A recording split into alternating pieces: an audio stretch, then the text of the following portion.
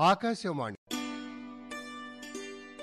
దూరతీరాలు అఖిల భారత నాటకం రచన శ్రీ కాటూరు రవీంద్ర త్రివిక్రమ్ హిందీ అనువాదం ఉదయశ్రీ ఇందులో మేజర్ ప్రభాకర్ శ్రీ కోకా సంజీవరావు డాక్టర్ సుధాప్రియ శ్రీమతి శారదా శ్రీనివాసన్ నిర్వహణ శ్రీ నక్కా సుధాకర్ రావు సహకారం శ్రీ అంజిబాబు వినండి. దూరతీరాలు. అఖిల భారత నాటకం.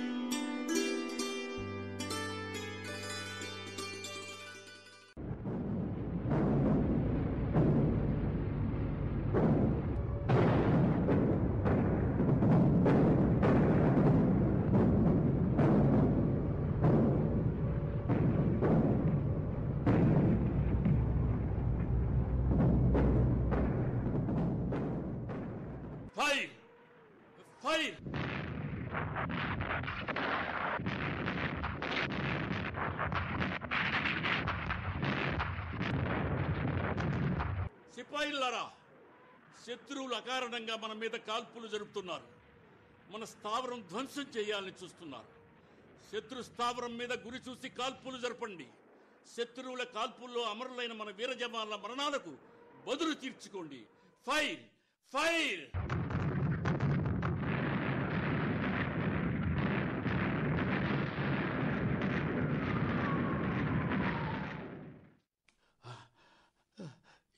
ఎక్కడున్నాను నేను?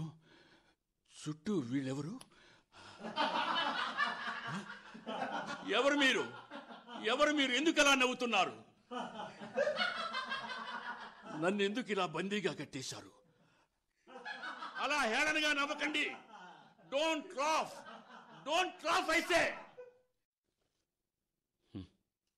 వెళ్ళిపోయారు దుర్మార్గులు. నేను శత్రు సైనికులకి పట్టుపడ్డానా నో నో.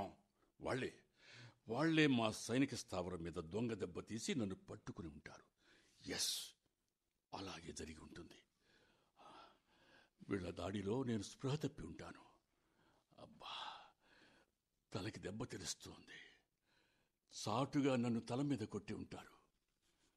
పొగమంచు చీకటి రాత్రి వేళ దొంగల్లా వచ్చి చుట్టుముట్టి ఉంటారు.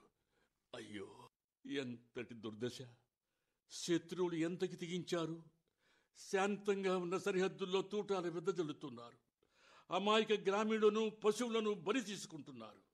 ఇళ్ళను ధ్వంసం చేస్తున్నారు. శాంతిని సమాధి చేస్తున్న ద్రోహుల్లారా ఎందుకు ఇలా పిశాచాలా ప్రవర్తిస్తున్నారు? భారతీయుల సహనాన్ని పరీక్షించకండి. స్నేహానికి ప్రాణమిస్తాం ద్రోహం చేస్తే ప్రాణం తీస్తాం. అబ్బా అబ్బా హింసిస్తున్నారు.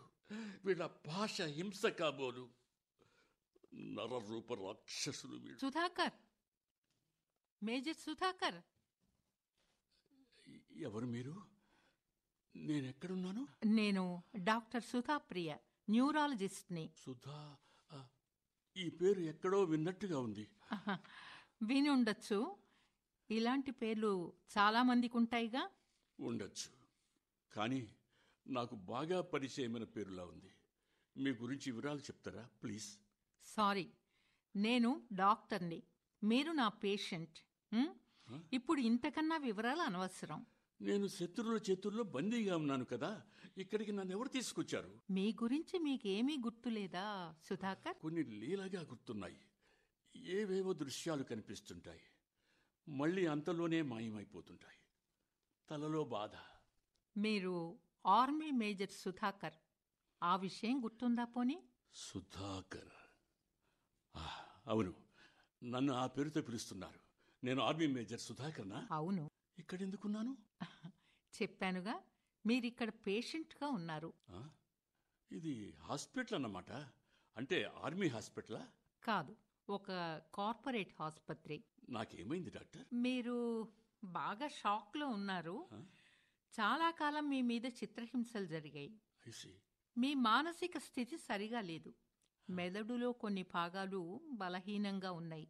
అందుకని ప్రత్యేక చికిత్స కోసం ఈ ఆసుపత్రిలో ఆర్మీ వాళ్ళు చేర్పించారు. ఈ ఆసుపత్రి మీదేనా డాక్టర్? కాదు. నేనిక్కడ న్యూరాలజీ స్పెషలిస్ట్ని. అన్నట్టు నేను ఇక్కడ ఎన్నాళ్ళ నుంచి ఉంటున్నాను డాక్టర్? మీరు మూడు నెలల నుండి. మూడు నెలలా? అవును. మరి మరి మిమ్మల్ని ఈ రోజే చూస్తున్నట్టుగా ఉందేమిటి? అంటే ఇప్పుడిప్పుడే మీరు కోలుకుంటున్నారు. ఈరోజు మీ పరిస్థితి కాస్త బాగుందన్నమాట. మనుషుల్ని గుర్తుపడుతున్నారు మామూలుగా మాట్లాడుతున్నారు. అంటే ఇంతకాలము నేను స్పృహలో లేనా? దాదాపు అంతే. స్పృహ వస్తోంది పోతోంది. స్పృహలో పెద్దగా కేకలు అరుపులతో చాలా డిస్టర్బ్ అవుతున్నారు. వెంటనే మత్తు ఇంజెక్షన్ ఇస్తున్నాం. డాక్టర్ నా కేసు హిస్టరీలో ఏమనుంది? మీరు కాశ్మీర్ సరిహద్దుల్లో ఉండగా శత్రువులు మిమ్మల్ని ఎత్తుకుపోయారు. అవును డాక్టర్. అవును. నేను నిద్రలో ఉన్నప్పుడు ఆ దృశ్యాలు కనిపిస్తూ ఉంటాయి. నన్ను అనేక హింసలు పెట్టారు. గుండు కొట్టించారు. గోడల్లో సూదులు గుచ్చారు. కారమద్దారు తలకిందులుగా వేలాడదీశారు రాత్రులు నిద్రపోకుండా గంట గంటకి మొహం మీద నీళ్ళు చల్లారు. పురుగుల అన్నం బలవంతాన తినిపించారు. నాకు అనారోగ్యం చేస్తే వైద్యం చేయించలేదు. ఒక దశలో నేను చచ్చిపోయానని అనుకున్నాను. దాదాపు అలాంటి స్థితిలోనే మిమ్మల్ని మన దేశానికి శత్రు దేశం అప్పగించింది. కొంత చికిత్స చేశాక అక్కడ ఇక్కడికి పంపించారు. డాక్టర్? చెప్పండి. నేను నేను సందేహిస్తారెందుకు? అడగండి. నేను నేను బతికే అవకాశం ఉందా డాక్టర్? ఇప్పుడు మీరు బతికే ఉన్నారు సుధాకర్. అవును. ఇప్పుడు బతికే ఉన్నాను. ఇంకెంతకాలం బతికి ఉంటాను ఈ రోగం నయమవుతుందా? చెప్పండి డాక్టర్ ప్లీజ్. మేజర్ సుధాకర్ మీ మనసులో ఏముందో చెప్పండి ముందు.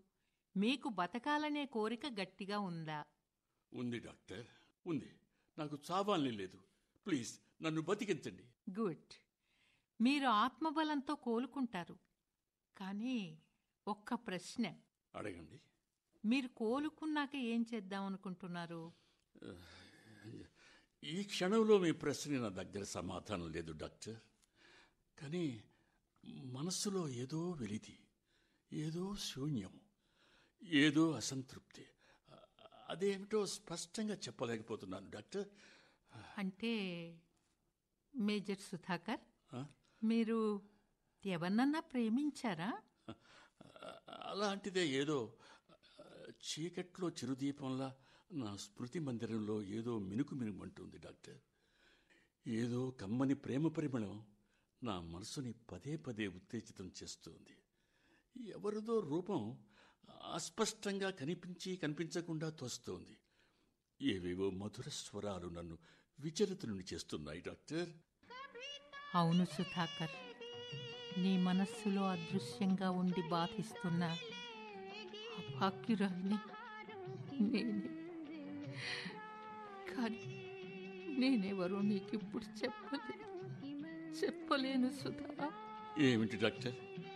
కన్నీళ్ళు కారుస్తున్నారా ఆహా, కన్నీళ్ళ? లేదే. అన్నట్టు మీకు మందులు ఇవ్వాల్సిన సమయం అయింది. ఇంజెక్షన్ కూడా చెయ్యాలి. నేను మళ్ళీ వస్తాను. అలాగే డాక్టర్. బాయ్.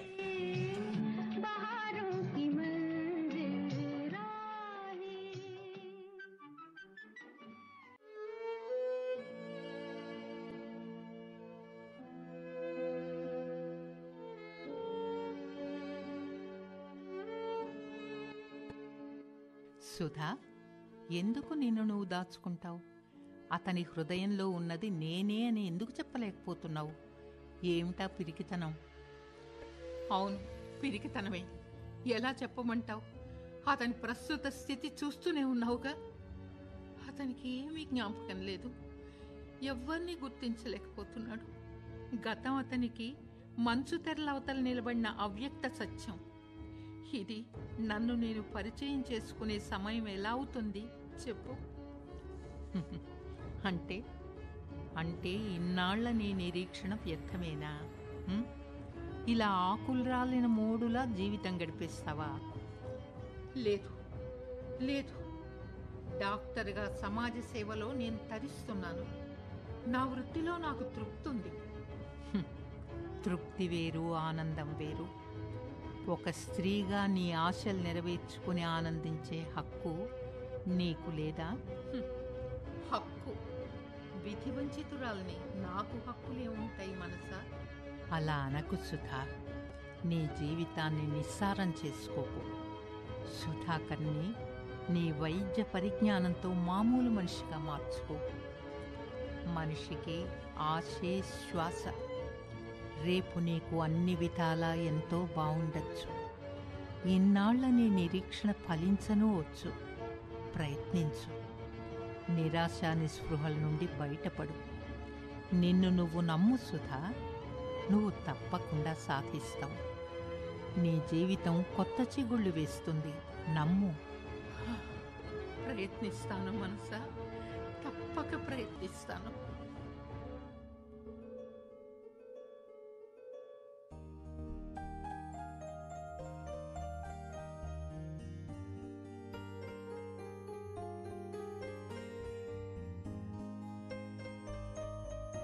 సుధా ఈరోజు నువ్వెంత అందంగా ఉన్నావో తెలుసా? నువ్వు చెప్తేనేగా నాకు తెలిసేది. చెప్తాను తప్పక చెప్తాను. ఏది? చెప్పు చూద్దాం. ఆకాశం నీ నీలం రంగు చీరలో దాక్కుంది. సూర్యుడు నీ నుదుటి బుట్టై మెరిసిపోతున్నాడు. అయ్యగారికి ఇవాళ కవిత్వం పొంగిపోతోంది.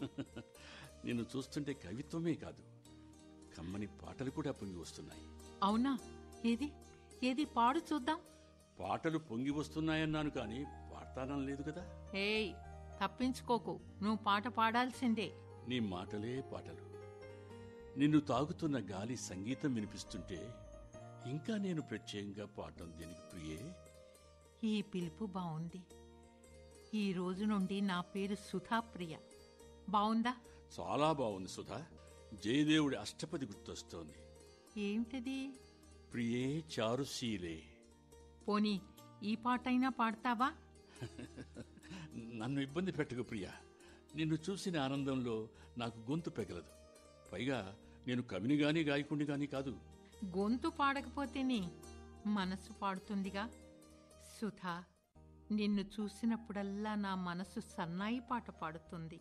కాసిని కమ్మని కబుర్లు చెప్పు సుధా. వింటాను. అప్పుడప్పుడు నాకు భవిష్యత్తు గురించి భయం వేస్తుంటుంది ప్రియా. భయమెందుకు? మన కలలు నిజమవుతాయా అని సందేహం కలుగుతుంటుంది. ఈ రోజు ఇలా ఇంత దగ్గరగా ఎంతో ప్రేమగా ఉన్నాం. ఈ సాన్నిహిత్యం జీవితాంతం కొనసాగుతుందా? మన జీవితాలు ఒకటవుతాయా? నేను భవిష్యత్తును నమ్ముతాను సుధాకర్. మన పెళ్ళికి ఎలాంటి ఇబ్బందులు ఉండవని నాకెందుకో గట్టి నమ్మకం. ప్రియా నా ఇంటి పరిస్థితులు నీకు తెలియవు. ఏమిటవి? నాకు సవితి తల్లి ఉంది. ఆ, ఇంట్లో ఆవిడదే పెత్తనం. నాన్నగారు నిస్సహాయులు. ఏ? ఆవిడ మన పెళ్ళికి ఒప్పుకోదా? అనే నా భయం. ఎందుకు ఒప్పుకోదు? తనేమన్నా శాడిస్టా? అలాగే అనిపిస్తుంది. ముసలిమడుగుతో కాపురం మొసలిమడుగులో స్నానం అంటూ ఎప్పుడు సాధిస్తూ ఉంటుంది. పాపం. అందుకే మీ నాన్న మౌనంగా భరిస్తుంటాడు కాబోలు. పోనీ ఒక పని చేస్తే? ఏమిటిది? ఇద్దరం మేజర్లమే కనుక రిజిస్టర్ మ్యారేజ్ చేసేసుకుందాం. మా నాన్న బాధపడతాడు ప్రియా. ఆయనకి నా మీద కొండంత ప్రేమ. ఇంటికి పెద్దవాళ్ళని మక్కువ. గుండె నిండా ప్రేమ దాచుకుని పైకి గంభీరంగా ఉంటాడు. నీ మాటలు విడ్డూరంగా ఉన్నాయి సుధాకర్. ఇందులో విడ్డూరమేముంది? ఏమిటా? మాంసాహారం ఇష్టం జీవహింస అంటే భయం అన్నట్టుంది. ప్రేమ కావాలి కానీ పెళ్ళికి సందేహం! నీ పద్ధతి ఏం బాగాలేదు డియర్. ప్రేమకెప్పుడు విషమ పరీక్షలే ప్రియా. కథ పెళ్ళి దాకా వెళ్ళి సుఖాంతమయ్యేదాకా సందేహమే కదా. అమాయక చక్రవర్తి సాహసం చెయ్యి. ఈ రాకుమార్తె నీకు లభిస్తుంది. ఏమిటి? సాహసం చేస్తావా మరి? అదే ఆలోచిస్తున్నాను. నీ ఆలోచన బంగారం కాను. ఎన్నాళ్ళు అలా ఆలోచిస్తూనే ఉంటావు? త్వరగా తెములు. అలాగే ప్రియా. ఆ, సరే ఇంక వెళ్దాం పద. ఆకాశంలో నక్షత్రాలు కూడా వచ్చేసాయి. నక్షత్రాలు వచ్చాయి. చందమామ రాలేదు కదా? నీ ఎదురుగా చందమా ఉంటే ఆకాశంలో చూస్తే ఏం కనిపిస్తుంది నువ్వెప్పుడు ఇలా గలగల నవ్వుతూ ఉండాలి ప్రియా. నీ దగ్గర ఉన్నంతసేపు సెలయేటి ఒడిన తరంగ సంగీతం వింటున్నట్లే ఉంటుంది. అప్పుడే వెళ్ళకు ప్రియా. ఇంకా నా మనసు నిండలేదు. నిన్ను ఇలానే చూస్తూ ఉండాలనిపిస్తోంది. మహాశయ ఇది పబ్లిక్ పార్క్. సమయం కాగానే బయటకు గంటి తాళం వేసేస్తారు. వెళ్దాం పదింకా. సరే పదా.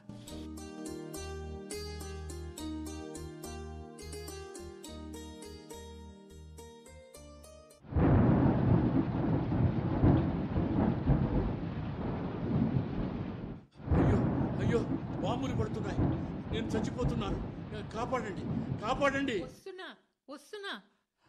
సుధాకర్ సుధాకర్ ఏమైంది? ఎందుకలా భయంగా కేకలిస్తున్నారు? వినపడటం లేదా? పైనుంచి బాంబులు పడుతున్నాయి. సుధాకర్. మన అందరూ చచ్చిపోతున్నాం సుధాకర్. అవి బాంబులు కావు సుధాకర్?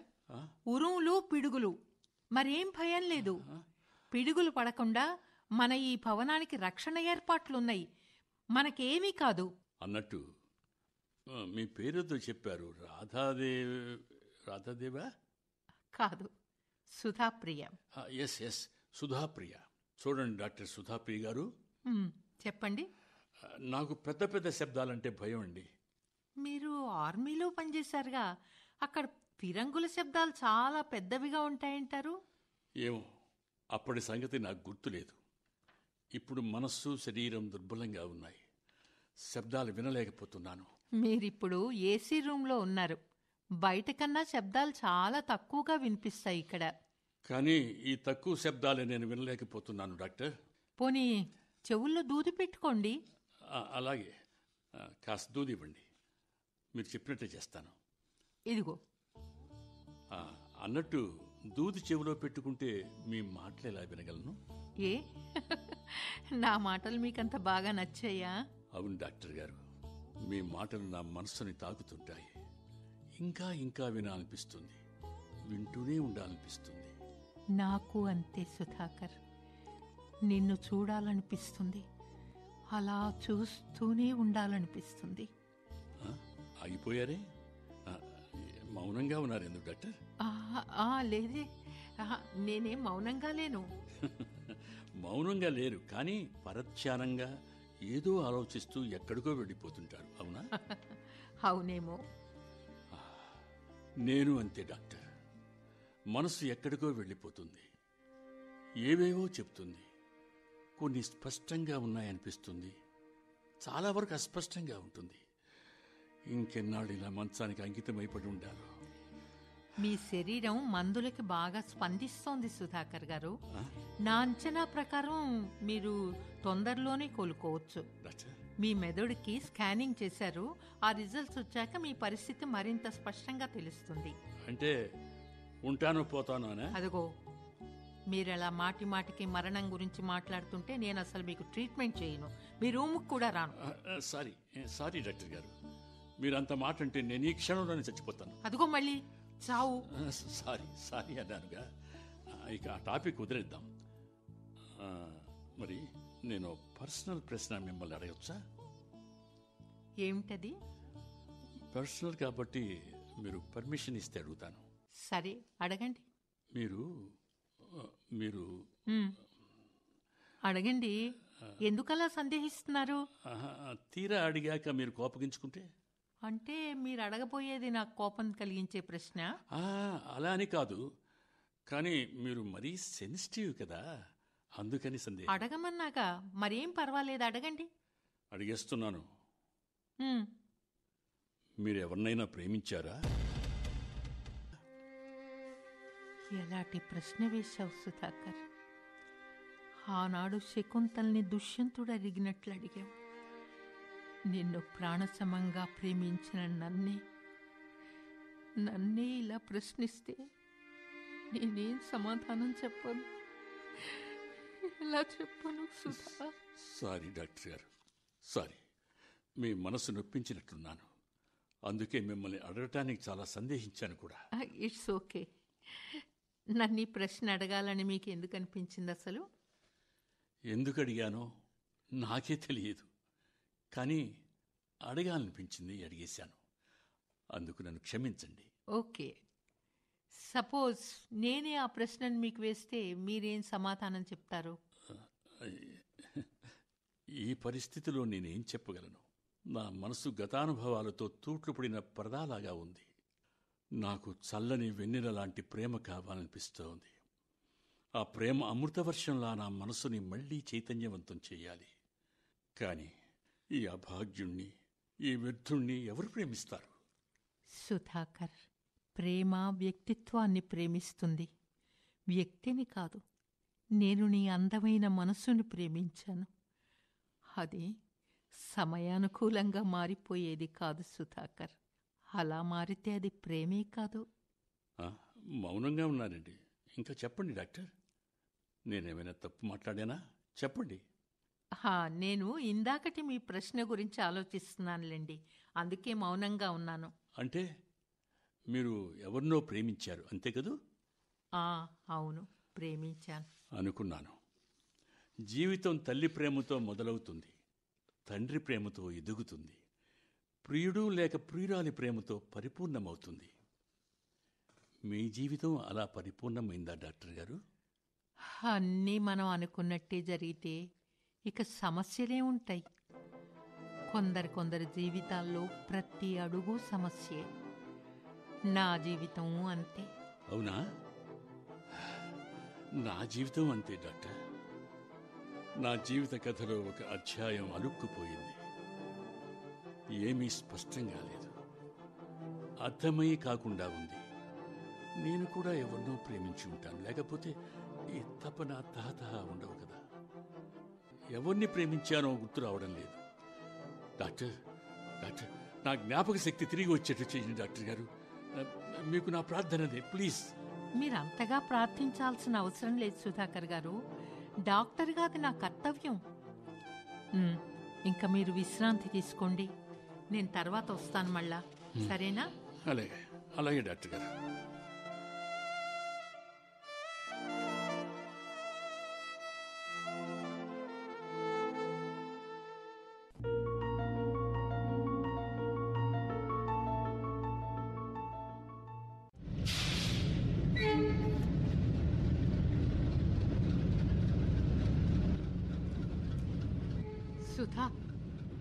రైలు వచ్చేస్తోంది రావాలి కదా ప్రియా. దాని పని అది చేస్తుంది. సుధా ఇలా నన్ను వదిలి నువ్వు వెళ్ళిపోతుంటే నా మనసంతా బరువు ఎక్కిపోతోంది నాకు అలాగే ఉంది ప్రియా. కానీ తప్పదు. సరిహద్దుల్లో పోస్టింగ్. శత్రువులు రోజు కాల్పులకు తెగపడుతున్నారు. కాల్పుల మాటన ఉగ్రవాదుల్ని మన దేశంలోకి చొరపెడుతున్నారు. వాళ్ళు విధ్వంసాలు సృష్టిస్తున్నారు. చాటుమాటుగా మన సైనికుల్ని చంపుతున్నారు. పరిస్థితి ఏమీ బాగాలేదు ప్రియా. నేను అర్థం చేసుకోగలను. కానీ నువ్వు ఏదో వంకతో మన పెళ్ళి వాయిదా వేస్తున్నావు. ఎందుకలా చేస్తున్నావు? దేనికోసం ఈ నిరీక్షణ? నిజం చెప్పంటావా? అబద్ధం ఎందుకు? నిజమే చెప్పు. సరిహద్దుల్లో నిత్యం అది మృత్యుక్రీడ ప్రియ. ఏ తూట ఎప్పుడు కాటు వేస్తుందో తెలియదు. ప్రేమకి ఫార్మాలిటీస్ ఉండవు. నేను మరణించిన ఆ ప్రభావం నీ జీవితం మీద పడదు. పెళ్ళి అలా కాదే.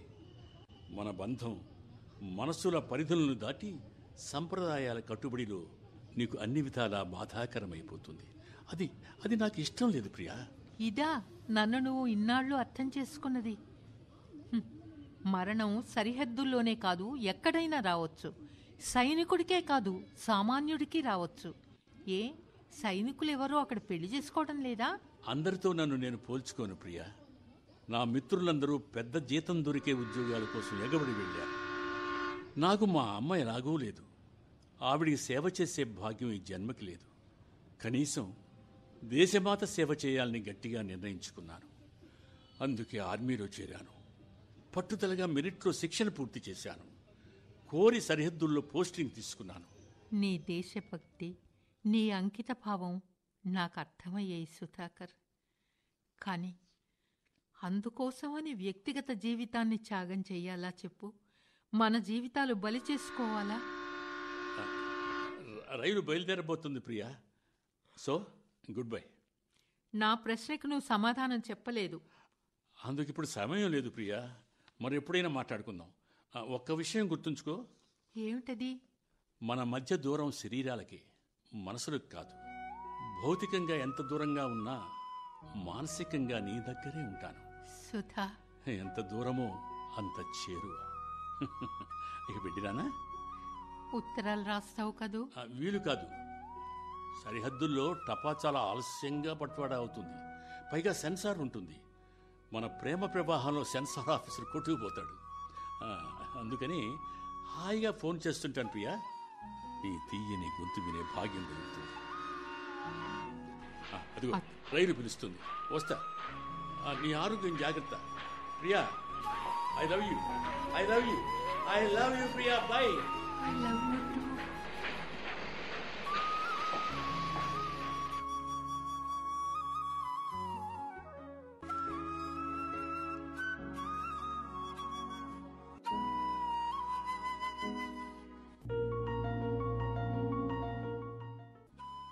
ఆ రోజు అలా వెళ్ళిపోయి చివరికి ఇలా జీవోత్సవంలా ఓ పేషెంట్లా నా దగ్గరికి వచ్చావు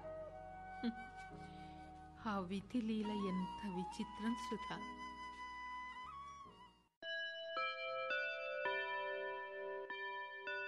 ఓహ్ టైం చాలా అయింది. సుధాకర్ నువ్వు ఆనాడు చెప్పింది నిజం. ఎంత దూరము అంత చేరువుగా ఉన్నావు.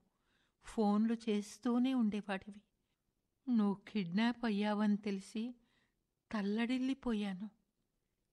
ప్రేయస్గానే ఇంత బాధపడితే భార్యగా ఇంకెంత బాధపడేదాన్నో? ఎందుకంటే శ్రేయోభిలాషుల సానుభూతి బాధ అసలు బాధ కన్నా ఎక్కువ. అన్ని హింసల్లోకి సానుభూతి హింస దుర్భరం కదా. అందుకేనా? పెళ్ళి వాయిదా వేస్తూ నాకు ఆ బాధ తప్పించింది. పోన్లే మనం పెళ్ళి చేసుకోపోతేనే మన బంధం పెళ్ళికి అతీతమైంది. నువ్వు నాకు మళ్ళీ కనిపించాలని తప్పించి తప్పించిపోయాను కనిపించవు కానీ ఇలా చూస్తాననుకోలేదు. కోమాలో ఉన్న నిన్ను చూస్తుంటే నా మనసు ఎంత తరుక్కుపోయిందో ఎలా చెప్పను సుధా? నేను మళ్ళీ జీవిస్తానా నిన్ను అడుగుతుంటే? ఆ ప్రశ్న కత్తిలా నా మనసులో గుచ్చుకుంటోంది. సుధాకర్ నిన్ను చూడడం కోసమే జీవిస్తున్న నాకు నా ప్రాణ సమానమైన నిన్నిలా చూస్తుంటే నేను తట్టుకోలేకపోతున్నాను సుధాకర్. ఆ భగవంతుడే గనక నాకు శక్తినిస్తే నా ప్రాణాన్ని నీకు తారపోసి నిన్ను బతికించుకునేదాన్ని. నిన్నెలాగైనా మామూలు మనిషిని చేయడానికి నా సర్వశక్తులు ఉపయోగిస్తాను సుధాకర్. నా సర్వశక్తులు ఉపయోగిస్తాను.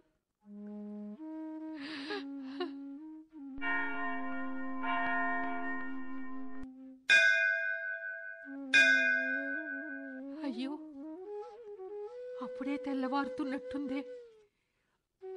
ఇలా నిద్రలేని ఎన్ని రాత్రులు గడిపానో తెలుసా? ఇది మరో కాళరాత్రి. నువ్వు పూర్తిగా కోలుకునే వరకు ఇంతే. అవును భగవంతుడా. నా సుధాకర్ని కాపాడు. Please please save him please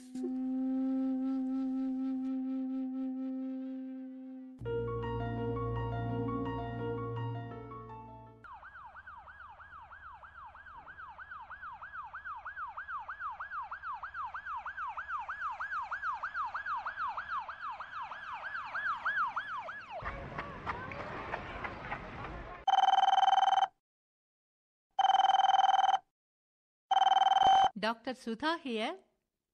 What? Army hospital నుండి పేషెంట్ వచ్చాడా? కోమాలో ఉన్నాడా? నేను ఇప్పుడే వస్తున్నాను. నర్స్ కాస్త తప్పుకో. పేషెంట్కి ఆక్సిజన్ మాస్క్ తగిలించు. ఓకే. ఎవరెత్తను? గడ్డాలు మీసాలు బాగా పెరిగిపోయి ఉన్నాయి. కానీ మొహమేదో పరిచయంగా కనిపిస్తోంది. ఎవరై ఉంటారబ్బా? కేస్ షీట్ చూద్దాం. మేజర్ సుధాకర్ ఆ? సుధాకరా నా సుధాకర్ శత్రువులు కిడ్నాప్ చేశారని అప్పట్లో పేపర్లో వచ్చింది కానీ ఇటీవలే తిరిగి వాఘా బార్డర్ దగ్గర అప్పగించినట్లు కూడా వార్తలు వచ్చాయిగా. అయితే అయితే ఆరోగ్యం ఇంతలా క్షీణించి మనిషి రూపురేఖలు మారిపోయాయా? ఎంత కష్టం వచ్చింది సుధాకర్కి. భగవంతుడా. నా సుధాకర్ని తిరిగి నాకు దక్కించినందుకు నీకు కోటి కోటి ధన్యవాదాలు. ఇతను తిరిగి త్వరలో కోలుకునేలా అనుగ్రహించు ప్రభు. Never never no no no మీకు మా దేశ రక్షణ రహస్యాలు చెప్పను. I will not tell I will not Sudhakar Sudhakar. ఏదో కలవరిస్తున్నాడు. శత్రువులు బాగా హింసలు పెట్టినట్టున్నారు. వెంటనే ట్రీట్మెంట్ మొదలు పెట్టాలి. కేస్ షీట్లో మెడికల్ హిస్టరీ ఏముందో చూడాలి. ఓ ఓకే. కేస్ అర్థమైపోయింది. ఇది పూర్తిగా న్యూరాలజీ కేస్. పర్వాలేదు సుధాకర్ పర్వాలేదు. నిన్ను నేను దక్కించుకుంటాను. అవును అవును సుధా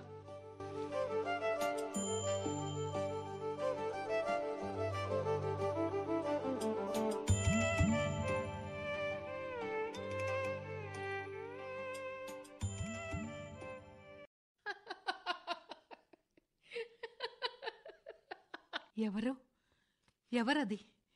ఎందుకలా నవ్వుతున్నారు? నేనే. నీ మనస్సుని నీ వెర్రితనం చూస్తుంటే నవ్వొస్తోంది నాకు. వెర్రితనమా? ఏమిటి వెర్రితనం? సుధాకర్ కోలుకున్నాక నీ మాట వింటాడా? నిన్ను పెళ్ళి చేసుకుంటాడా? ఇంపాసిబుల్. ఏ? ఎందుకని? ఎందుకలా అపశకునాలు పలుకుతున్నావు నువ్వు? గతంలో నీ మాట విన్నాడా? నిన్ను పెళ్ళి చేసుకుంటానని ఒక్క మాట ఒక్క మాట ఎన్నడైనా అన్నాడా? లేదు. ఇప్పుడు అంతే. దేశం దేశం దేశం. అతనికి అదే పిచ్చి. No no. అలా అనకు. అలా అనకు. నా సుధాకర్ని నేను రక్షించుకుంటాను. నేను మార్చుకుంటాను. రక్షించుకోగలవు. కానీ మార్చుకోలేవు. నవ్వకు అలా హేళనగా నవ్వకు నేను తట్టుకోలేను. అవును నేను తట్టుకోలేను.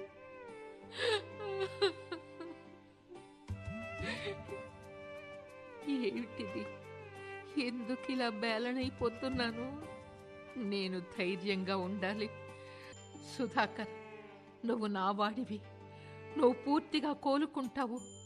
అవును మనం పెళ్ళి చేసుకుంటాం. మనం పోగొట్టుకున్న స్వర్గాన్ని తిరిగి దక్కించుకుందాం. మన కలలు పండించుకుందాం.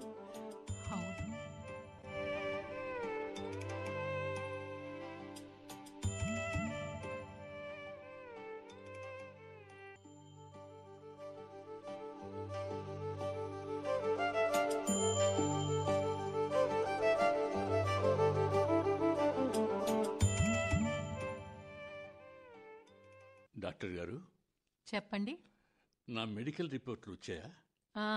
అవే చూస్తున్నాను. ఏమని వచ్చాయి రిపోర్ట్లో? మీకు బ్రెయిన్ ఆపరేషన్ చేయాలండి. బ్రెయిన్ ఆపరేషనా? అవును. నేను నేను తట్టుకోగలనా డాక్టర్? ఆపరేషన్ చేశాక కోలుకుంటానా?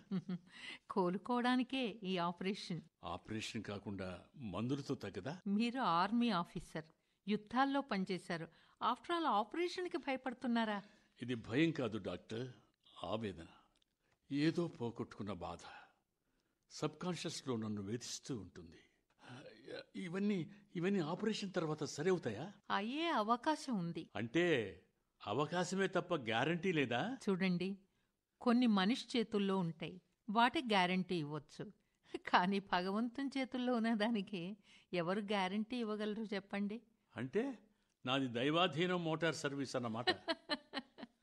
ఇగో ఈ కాగితాల మీద మీరు సంతకం చెయ్యాలి. ఏమిటా కాగితాలు? భయపడకండి. ఇవి మీ ఆస్తి కాగితాలు కావు. ఆస్తి కాగితాలైనా భయపడను. ఎన్ని కోట్ల ఆస్తులైనా ఈ శరీరానికి మించినవి కాదుగా? ఇది ఉంటేనే కదా దేనికైనా విలువ. కాగితాలు ఇలా ఇవ్వండి. ఎక్కడ సంతకం చేయమంటే అక్కడ చేసేస్తాను. ఇవి ఆపరేషన్కి మీరు అంగీకరిస్తున్న కాగితాలు. మీ తరఫున ఎవరూ ఇక్కడ లేరు కాబట్టి మీరే చెయ్యాలి. ఇదిగో. చేసేసాను ఆ, ఒక్క ప్రశ్న. ఒక్కటేమిటి వంద అడగండి. మీరు కోలుకున్నాక మీరు ప్రేమించిన వ్యక్తిని గుర్తుపట్టారనుకోండి నిజంగా అలా జరుగుతుందా డాక్టర్? సపోజ్ జరిగింది అనుకుందాం. ప్లీజ్ ఆ రోజు నాకు పున్నమి లాంటిది. Doctor do me that favour. మీరు బాగా ఆవేశపడుతున్నారు. ఆవేశం కాదు ఇది డాక్టర్. ఆవేదన. నా ప్రియురాలు ఎవరో నాకు తెలియాలి. నేను అడిగేది అదే. మీ ప్రియురాలు ఎవరో తెలిస్తే మీరు ఆమెను పెళ్ళి చేసుకుంటారా అని. ఆమెకి పెళ్ళైపోతే? కాలేదు అనుకుందాం. అప్పుడు? ఈ రోజుల్లో అలాంటి వాళ్ళు ఎక్కడ ఉంటారు డాక్టర్? ఉండరు. ఉండటానికి వీల్లేదు. లేదు. ఉన్నారు. అందరూ మీరనుకున్నట్లే ఉంటారని ఎందుకు అనుకుంటున్నారు డాక్టర్ ఏమిటి మీరు అలా ఎమోషన్గా అయిపోతున్నారు? మీకు ఆమె తెలుసా? ఆమె తెలియాలని ఎక్కడుంది కానీ నాకు ఆడదాని మనస్సు తెలుసు. ప్రేమ విలువ తెలుసు. అవునవును. మీరు ఎవరినో ప్రేమించానని చెప్పారుగా? నా ప్రేమ సంగతి ఎలా ఉన్నా మీ ప్రేమ ఫలించాలని మనసారా కోరుకుంటాను డాక్టర్ గారు. నేను అందరి ప్రేమలు ఫలించాలని కోరుకుంటాను. ఆపరేషన్ ఎప్పుడు చేస్తారు డాక్టర్? రేపు ఉదయాన్నే.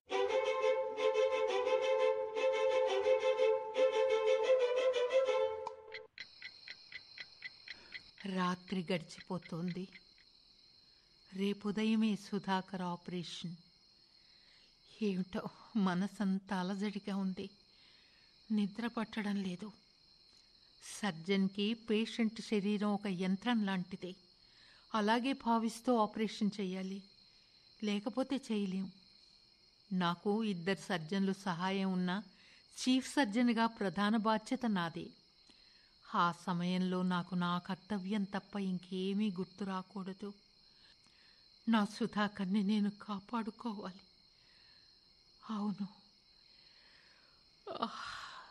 కాసేపు విశ్రాంతి తీసుకోవాలి. లేకపోతే ఆపరేషన్ థియేటర్లోనే నిద్ర వచ్చేస్తుంది పడుకుంటాను.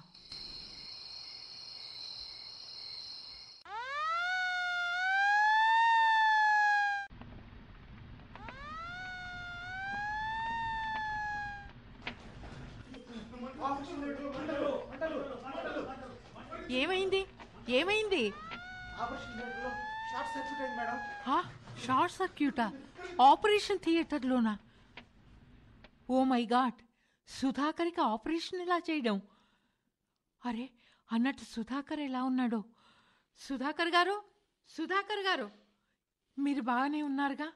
ఈ రూమ్కి ఏమీ కాలేదు కదా? ఏమిటి డాక్టర్ గారు? ఎందుకలా కంగారు పడుతున్నారు? ఏం లేదు. ఫైర్ యాక్సిడెంట్ అయింది. ఫైర్ యాక్సిడెంటా? ఎక్కడా? ఆపరేషన్ థియేటర్లో షార్ట్ సర్క్యూట్ అయిందిట. My God. ఇప్పుడు ఎలా? రేపు నాకు ఆపరేషన్ లేనట్టేనా? ఆపరేషన్ సంగతి తర్వాత గాని ముందు మీరు ఎలా ఉన్నారో అని కంగారు పడి వచ్చాను. అమ్మయ్య మీరు క్షేమంగా ఉన్నారు కదా అదే చాలు. ఎక్కడో ఆపరేషన్ థియేటర్ కదా నాకేమవుతుందండి? ఎక్కడో కాదండి బాబు కరెక్ట్గా మీ రూమ్ కిందే ఉంది ఆపరేషన్ థియేటర్. అలాగా? మరి నా రూమ్ మార్చేస్తారా? మంటలు చల్లారిపోతే పర్వాలేదు కానీ లేకపోతే మీకు మరో రూమ్లో బెడ్ ఇవ్వాలి. హలో? చెప్పండి. మంటలు చల్లార్చేశారా? Very good. బాగుంది థ్యాంక్ గాడ్. మంటలు చల్లార్చేశారు.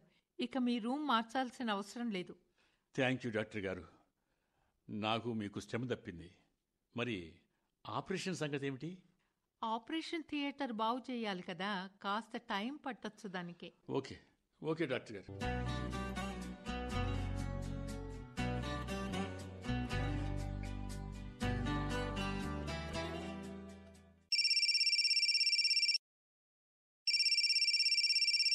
హలో ఎస్ నేను న్యూరో సర్జన్ డాక్టర్ సుధాప్రియని మాట్లాడుతున్నాను.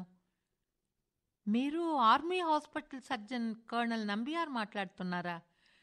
Good afternoon sir. అవును సార్. మేజర్ సుధాకర్ కేసు నేనే చూస్తున్నాను. ఈరోజు ఆపరేషన్ చేయాల్సి ఉండింది కానీ ఆపరేషన్ థియేటర్ రెడీగా లేదు. బహుశా రెండు రోజుల్లో చేస్తాం. మేజర్ సుధాకర్కి బ్రెయిన్లో చిన్న ట్యూమర్ ఉంది. మెమరీ సెంటర్స్ కూడా వీక్గా ఉన్నాయి. ఆపరేషన్ చెయ్యక తప్పదు సార్. ఆయన అంగీకార పత్రం మీద కూడా సంతకం చేశారు. అవును సార్. ఓ రియల్లీ? ఆపరేషన్కి మీరు వచ్చి సాయం చేస్తారా? గుడ్. అలా వస్తానంటే అంతకంటే ఇంకేం కావాలి sir? You are most welcome. తప్పకుండా ఆపరేషన్ వివరాలు నేనే ముందుగా మీకు చెప్తాను. ఓకే డాక్టర్ గారు. Thank you for calling. Major Sudhakar ఆరోగ్యం గురించి ఆర్మీ చాలా ఆసక్తిగా ఉంది. సుధాకర్కి ఆపరేషన్ కారణం నేను ఇంకా చెప్పలేదు.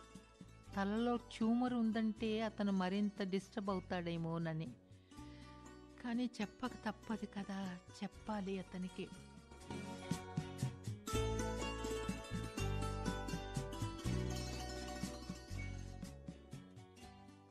The power of human is greater than any weapon ఏమిటి మీలో మీరే ఏదో మాట్లాడుకుంటున్నారు?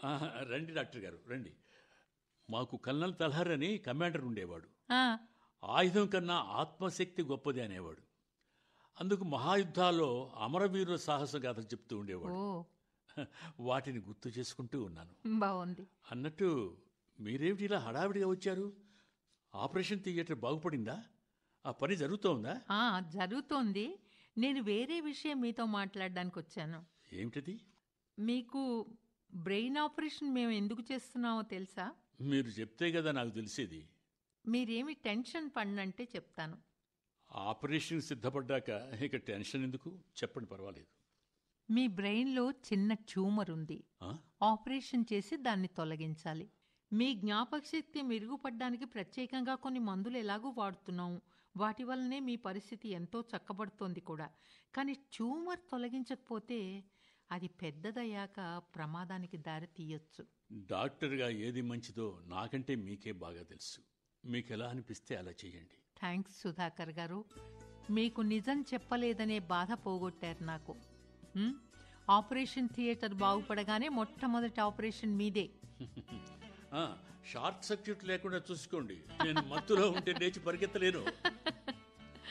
ఆ అవసరం ఏమి ఉండదులేండి కానీ వస్తాను మరి. ఓకే.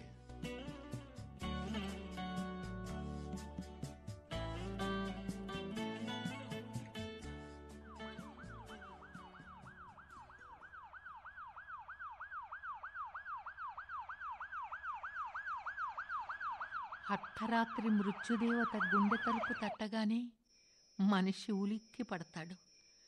అంబులెన్స్కి పిలుపు వెళుతుంది. నిశీది నిశ్శబ్దం చీల్చుకుంటూ మృత్యుపాశం మెడకు చుట్టుకున్న రోగిని ఆఘమేఘాల మీద ఆసుపత్రికి చేరుస్తాయి అంబులెన్సులు. వాటి సైరన్లు నాకు రోగి చావు కేకల్లా సేవ్ మీ సేవ్ మీ అరుపుల్లా వినిపిస్తుంటాయి. అదేమిటో? అత్యవసర కేసులన్నీ అర్ధరాత్రే వస్తాయి.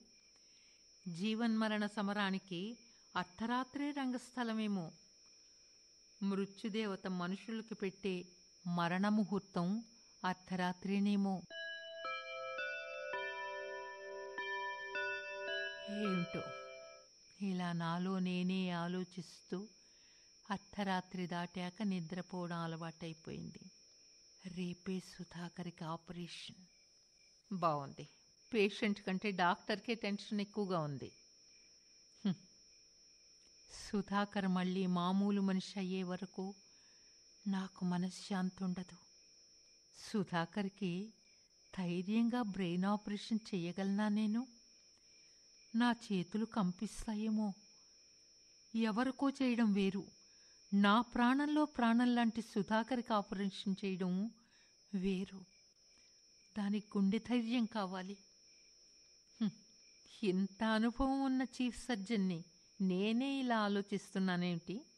ఆపరేషన్ టేబుల్ మీద పేషెంట్ ఒక శరీర యంత్రం. అంతే. ప్రొఫెషనల్గా నా పని నేను చేసుకుపోవాలి. అంతే కదా?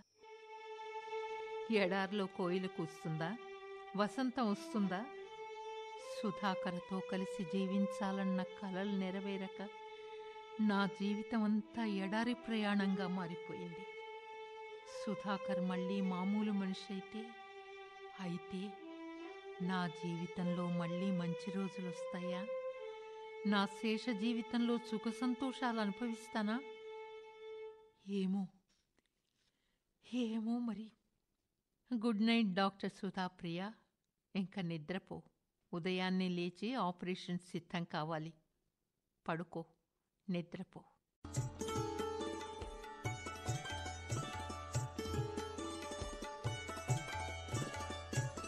డాక్టర్?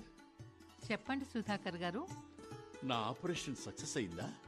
భగవంతుడి దయ వలన అంతా బాగా జరిగింది.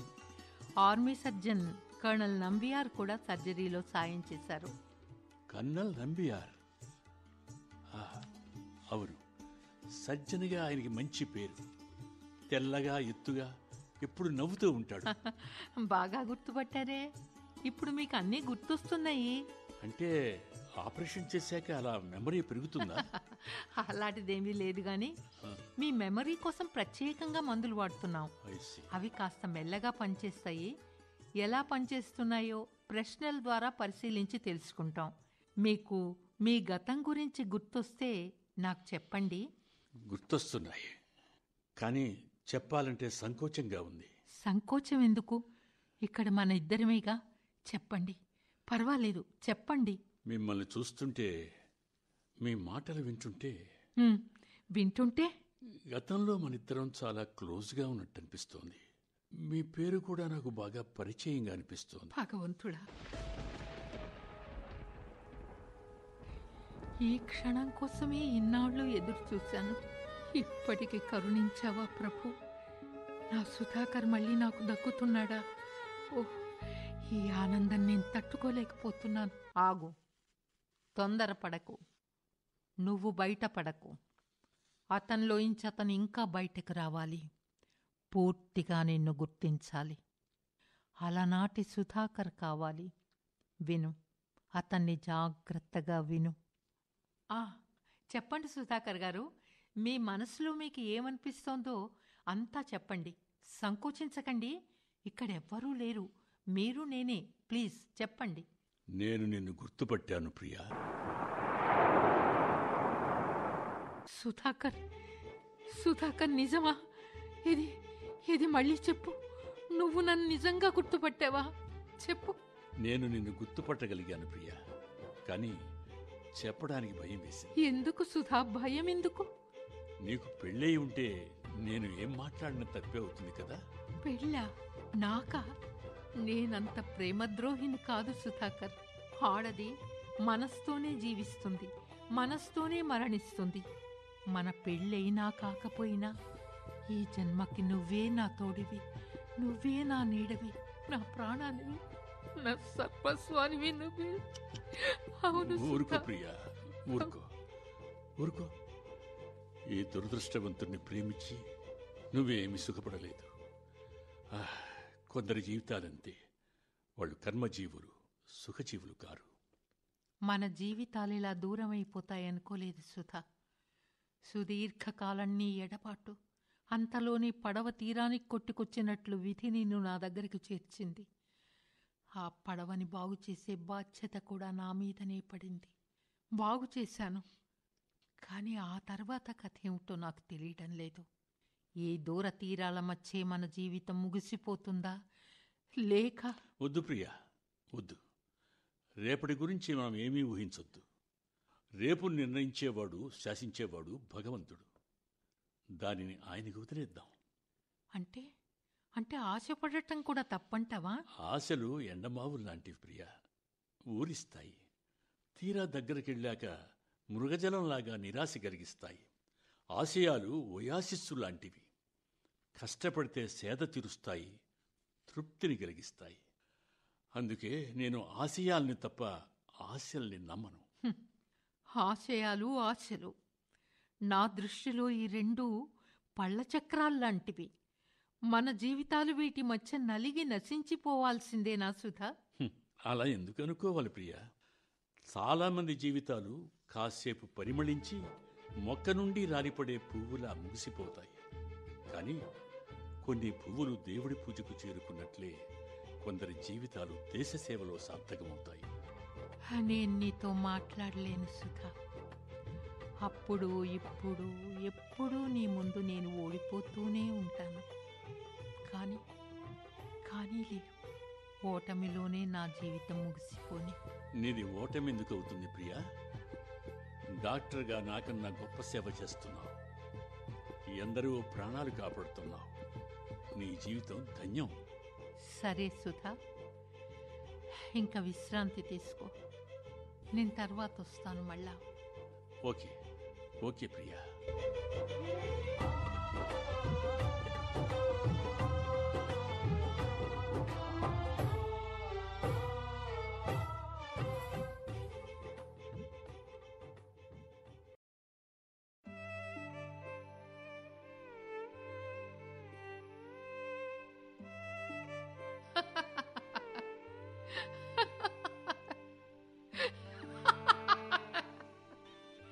నవ్వకు నవ్వొద్దు. నవ్వొద్దు అలా హేళనగా నవ్వకు ప్లీజ్. బాధపడకు. ఆశను చివరి శ్వాస వరకు బతికించుకో. నీ అదృష్టం బావుంటే సుధాకర్ మనసు మార్చుకొని నీవాడవుతాడు ఏమో నమ్మకం కలగడం లేదు మనస. నాకు సందేహం కలుగుతోంది. దేశభక్తి అతనికి వ్యసనంగా మారిపోయిందా? ప్రేమ కంటే ప్రాణం కంటే దేశమే ఎక్కువ అనిపిస్తోందా తనకు? అతనికి చిన్నతనంలోనే తల్లిపోయింది ప్రియ. దేశమాతనే తల్లిగా భావిస్తూ సేవలు చేస్తున్నాడేమో. గతంలో నీతో ఆ విషయం చెప్పాడు కూడాగా. అందుకే అంతటి వెర్రి అపమానమేమో ఆలోచించు. ఏమో. నేను అలసిపోయాను మనస. ఆలోచించే శక్తి నాలో నశించిపోయింది. నాకిప్పుడు విశ్రాంతి కావాలి. విశ్రాంతి కావాలి.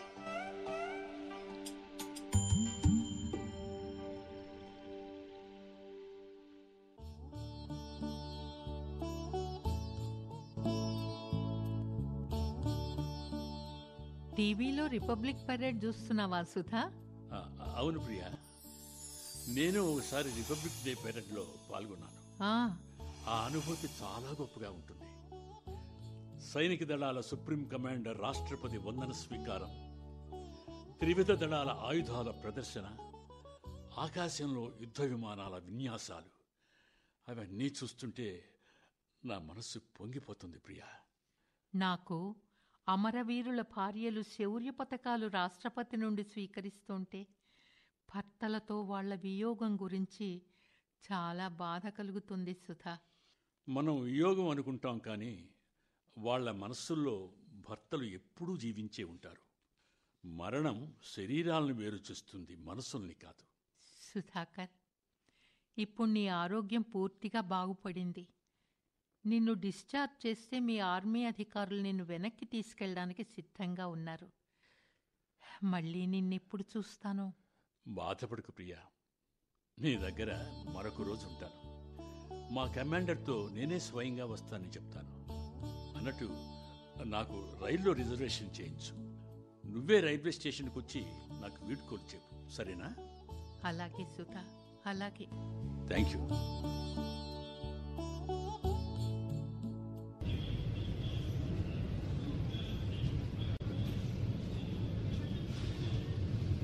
ప్రియా ప్రపంచంలోని మనుషులంతా ఇక్కడే ఉన్నట్టు ఎంత గలభాగా ఉందో చూడు.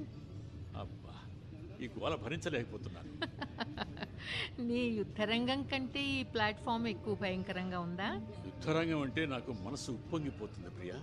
దానికి దీనికి పోలికేమిటి? జీవితం కూడా ప్రపంచం అనే యుద్ధరంగంలోనే కొనసాగుతుంది కదా. అవునా? ప్రపంచంలో మనసు ఉంటుంది. మనసులో కూడా ప్రపంచం ఉంటుంది. ఈ రెండింటి మధ్య సంఘర్షణే. ఎక్కడో ఒక చోట కలుస్తాం. ఎప్పుడో ఒకసారి. నీకు హిందీ బాగానే అర్థమవుతుంది. ఆ చదువుకున్నాలే. విశారద పాసయ్యాను ఓహో చదువుల విశారదం అన్నమాట. జీవితంలో విషాదం వేసినంత గాఢముద్రలు సుఖ సంతోషాలు వెయ్యం ఎందుకనో. మనిషికి పువ్వుల తాకిడి కన్నా రాళ్ళ దెబ్బలే గుర్తుంటాయి ప్రియ. సుధా ఆఖరిసారిగా అడుగుతున్నాను. నువ్వు నన్ను అసలు పెళ్ళి చేసుకుంటావా లేదా? చెప్పు. నీ బాధ నీ కోపం నాకు అర్థమవుతున్నాయి ప్రియ. నా మనసు నన్ను ఎప్పుడు కొన్ని ప్రశ్నలు అడుగుతుంటుంది. ఏమిటో తెలుసా? ఏమిటి చెప్పు. ఉద్యోగంలో చేరే ముందు నీకు పెద్ద జీతం వచ్చే ఉద్యోగం ముఖ్యమా? దేశ సేవ ముఖ్యమా? అని అడిగినప్పుడు దేశ సేవే ముఖ్యమన్నాను. రెండో మాట నువ్వు సరిహద్దుల్లో పనిచేస్తావా? దానికి దూరంగా పనిచేస్తావా? అన్నప్పుడు సరిహద్దుల్లోనే అని చెప్పాను. మూడో మాట. అది నేను చెప్తాను. సరే చెప్పు. నువ్వు నీ ప్రియని ప్రేమిస్తున్నావా? దేశాన్ని ప్రేమిస్తున్నావా? అంటే దేశాన్నే ప్రేమిస్తున్నాను అని ఇలా వెళ్ళిపోతున్నావు. అవునా? గొప్ప సంగతేగా? చెప్పానుగా. నీ బాధ నేను అర్థం చేసుకోలేదు ప్రియా. అర్థం చేసుకునే ఏమిటి ప్రయోజనం? నువ్వు అనుకున్నట్టే చేస్తావు. నువ్వు ఉత్తమ మొండివాడివి. నువ్వు దాన్ని మొండితనం అంటావు. నేను దృఢ సంకల్పం అంటాను. అందరూ హాయిగా పెళ్ళిళ్ళు చేసుకుని పిల్లా పాపలతో ఆనందంగా జీవించడానికి సరిహద్దుల్లో పహరా కాస్తూ ప్రాణాలు అర్పిస్తున్న సైనికులే కారణం.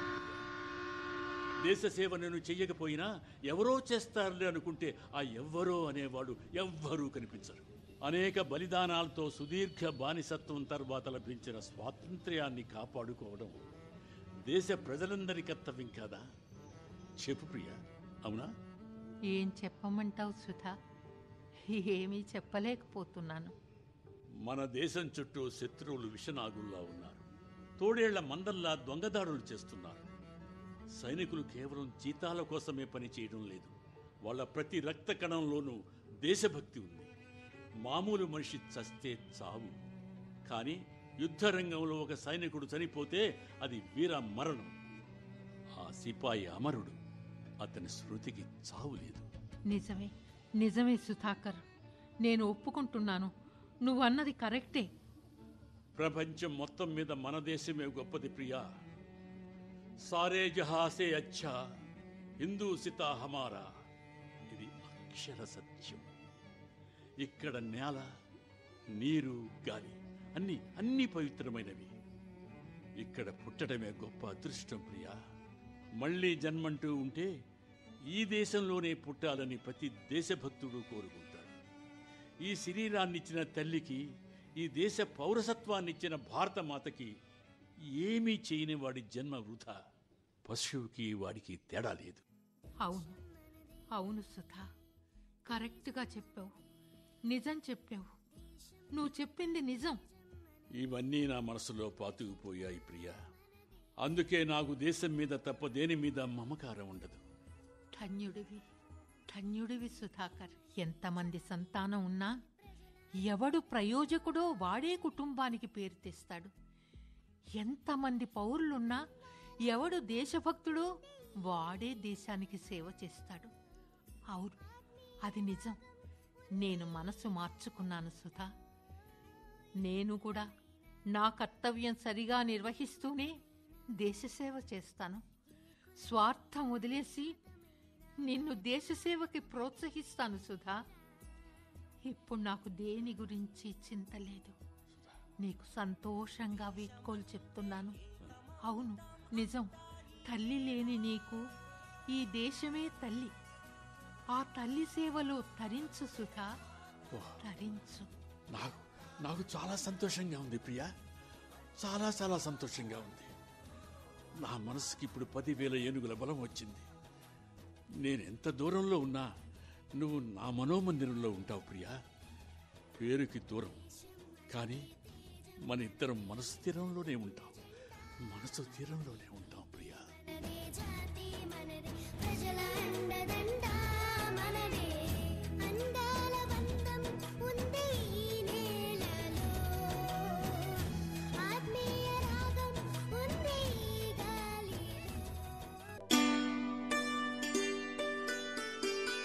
మీరింతవరకు దూరతీరాలు.